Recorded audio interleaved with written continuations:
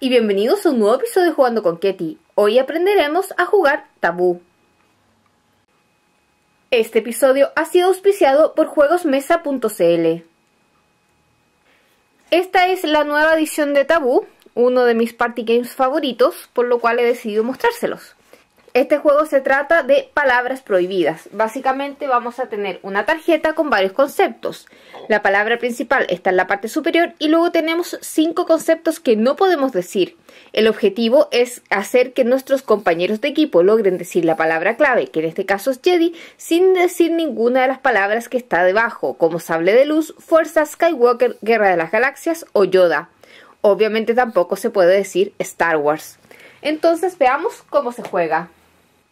La preparación de este juego consiste en lo siguiente. En primer lugar, todos los jugadores deben separarse en dos equipos y es importante que se sienten de manera alternada entre ellos, tal como indica este gráfico de acá. Es decir, un jugador del equipo azul, del equipo naranja y así sucesivamente. Esto porque cuando sea el turno de decir los conceptos de este jugador de acá, por ejemplo, estos otros dos jugadores del equipo contrario lo estarán supervisando para que no cometa una infracción. Lo siguiente que se hacer es ordenar las tarjetas. Cada una de estas tarjetas tiene cuatro conceptos. El concepto naranja, el concepto azul, el concepto rojo y el concepto lila. Es importante que todas las tarjetas estén con la misma orientación. Esto porque, por ejemplo, vamos a decidir utilizar el concepto rojo. Entonces todas las tarjetas deben ser colocadas así y el jugador las irá abriendo de esta manera para ir viendo los conceptos que deberá hacer que su equipo adivine. Entonces eso es lo otro que se debe hacer. A diferencia de otros juegos, no recomiendo barajar las cartas, porque cuando lo jugamos, por lo menos en la versión anterior, lo que hacíamos era, por ejemplo, utilizamos todos estos conceptos, luego estos los dejábamos abajo en la caja y después partíamos utilizando estos otros. De esta manera los conceptos se irán repitiendo en partidas muy a lo lejos y será más entretenido el juego. Además colocamos el reloj de arena, la bocina y la libreta de anotaciones en el centro de la mesa. El dado solo se utilizará en la versión avanzada del juego. Y ahora estamos listos para comenzar el juego. Tal como indiqué, el objetivo del juego es que tu equipo diga la palabra clave de la parte superior de la tarjeta. Sin embargo, no puedes usar ninguna palabra de tabú de la descripción o el otro equipo te va a hacer sonar la bocina. Aquí tenemos seis ejemplos. Las palabras Jedi, fajita, detective, miel, museo y pantano. Esos son los conceptos que el equipo deberá adivinar y estos son los conceptos prohibidos. Ya les mostré el caso de Jedi. En fajita, por ejemplo, tenemos mexicano, taco, queso, chiles y salsa. En detective, investigar, crimen, pista, investigador privado y Sherlock Holmes. Entonces veamos en qué consiste un turno de juego. Para comenzar el turno, el equipo debe escoger a un jugador que sea el que describa las palabras y se le entregará el mazo de cartas. El otro equipo deberá elegir un jugador que tenga la bocina para actuar como el supervisor y apretar la bocina cada vez que el jugador que está viendo las palabras, cometa una infracción. Cuando ya hemos hecho eso, entonces le damos la vuelta al reloj de arena y ese será el tiempo que tendrá el jugador que describe las palabras para hacer que su equipo adivine la mayor cantidad de palabras posibles. Entonces, en cuanto se voltee el reloj de arena, el jugador intentará hacer que su equipo adivine la mayor cantidad de conceptos posibles. Entonces, por ejemplo, doy vuelta a esta tarjeta acá y tengo el concepto de hielo. Y estas son mis palabras prohibidas. Yo, por ejemplo, podría decir hay mucho en la Antártida. Y puede que mi equipo adivine hielo. No he ocupado ninguna de estas palabras ni tampoco el concepto principal. Luego doy vuelta a la siguiente tarjeta y tengo la palabra rayas. Yo podría decir tal vez las vestimentas de los ladrones suelen tenerlas en blanco y negro. Y el equipo podría adivinar. Y sigo siendo lo mismo con los conceptos. Cada vez que adivino un concepto les sugiero colocarlos a un lado del mazo de cartas. Y cuando se equivoquen en un concepto, ya sea porque no quieren decirlo, porque no saben cómo describirlo en realidad, o bien porque les hicieron sonar la bocina, estos son colocados al otro lado. Así podremos contabilizar de mejor manera cuántos conceptos ah, eh, buenos tienen y cuántos conceptos cerrados o pasados. El jugador podrá seguir dando vuelta a conceptos y haciéndolos adivinar todo lo que quiera y también haciéndolos pasar mientras dure el tiempo del reloj de arena. Una vez que se acabe el tiempo, su turno habrá acabado y contabilizaremos cuántos puntos positivos y puntos negativos tiene. Según mi ejemplo de aquí, el jugador ha obtenido 1, 2, 3, 4, 5 puntos positivos versus 3 puntos negativos. El puntaje obtenido por el equipo es anotado en la libreta de anotaciones.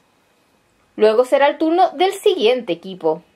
Como mencioné antes, existen varias restricciones que los jugadores deben tener en cuenta al momento de comenzar a decir palabras, y esto es lo que hará que el otro equipo suene la bocina. Las restricciones son las siguientes. En primer lugar, no se puede decir ninguna parte de una palabra de la tarjeta. Por ejemplo, no se puede decir nave o espacio si la palabra es nave espacial.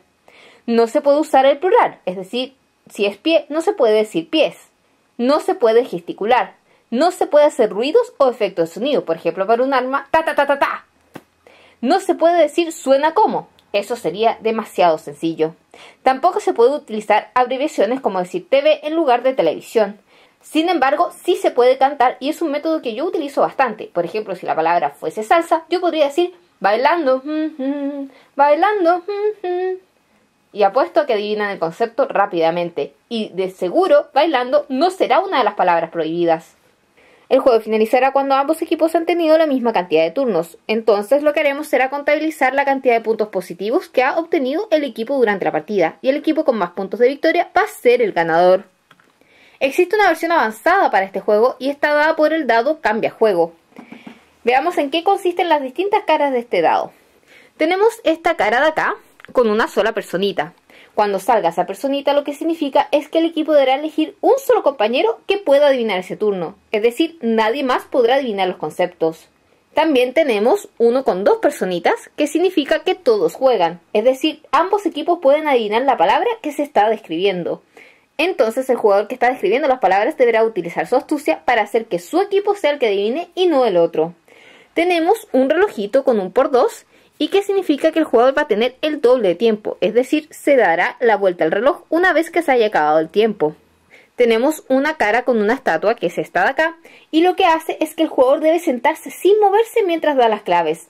Será trabajo del otro equipo dar vuelta a las palabras para que el jugador siga diciendo conceptos. Y finalmente tenemos la cara con la T de tabú, que indica que debemos jugar el juego clásico sin ninguna modificación.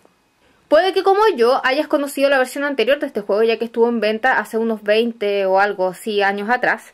Por eso digo que es uno de mis juegos favoritos. Hasta el día de hoy conservo la versión anterior y no me salía de él por ningún motivo. Tanto que me conseguí esta versión también. Les quiero mostrar las diferencias entre ambas versiones eh, mostrándolas con este juego, ya dado que no tengo en este momento a mano la otra versión. El juego anterior traía un tablero y se avanzaba con unos peones y ello indicaba si se jugaba eh, una sola persona adivinaba o había doble tiempo o algo por el estilo y creo que el juego acababa cuando se avanzaba hasta el final del tablero.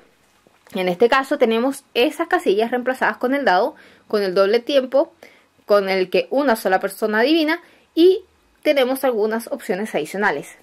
Además, el juego anterior traía una bandejita para poner las cartas, que en este juego no está incluida, pero si se fijan, en la caja viene esta bandejita.